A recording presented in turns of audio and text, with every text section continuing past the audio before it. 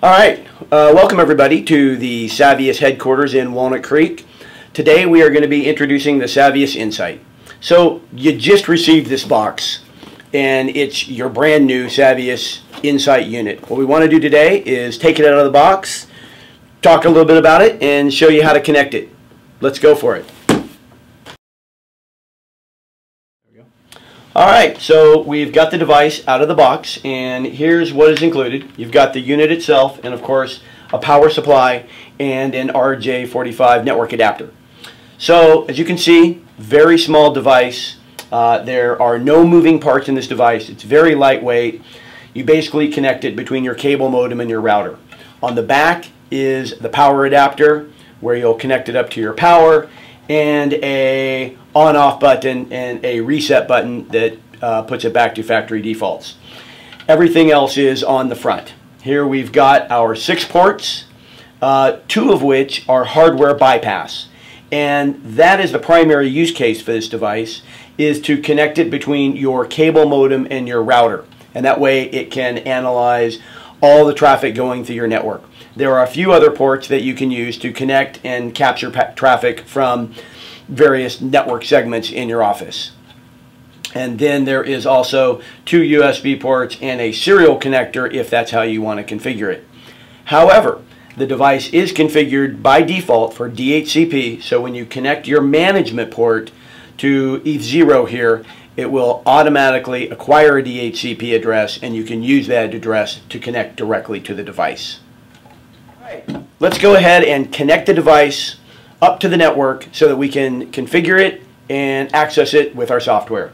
So first of all, we're going to want to plug the device into the power. Power has a nice little uh, screw here so we can connect it nice and snug and if it gets a little pull, it's not going to be pulled out. And then uh, we are going to connect our device between our cable modem and our router. So Here's my cable modem, and here's my router. Of course, we're going to use the bridge ports here. And by the way, this is a hardware bypass. These are all 1 gig ports. So you can connect this up to a 1 gig network, and all the traffic will pass through without any problem. So here's my cable modem, and here's my router. I am now in line to my network, and when I turn the device on, all the traffic from my network will pass through this device and we'll get all the analysis we need to have remote visibility into this network. Finally, of course, we will need to connect it uh, to the network itself, uh, to uh, the management port, so that we can interact with the device. That's ETH0. And as I mentioned before, there are a few other ports if you have internal segments that you want to monitor.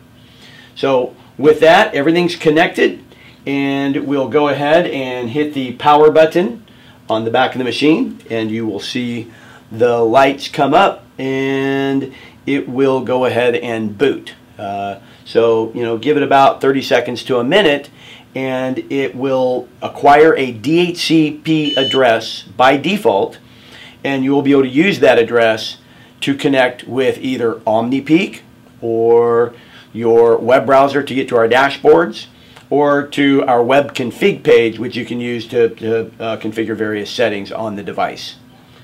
So it's, it's probably almost done. Now, by the way, if you don't have a DHCP server or you want to enter a static IP address, you would just not connect the management port to the network. You would connect the management port directly to your laptop and there would be no DHCP server, so it would default from DHCP to a static IP address at 192.168.1.21. So then you would set your laptop to like dot 20 and you could access it that way and give it whatever IP address you wanted.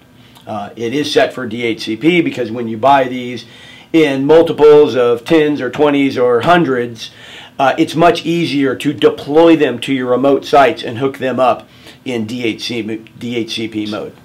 So there's Savvius Insight in a nutshell. I uh, hope you enjoyed it, and I hope this helps you to get going quicker when you receive your Savvius Insight device.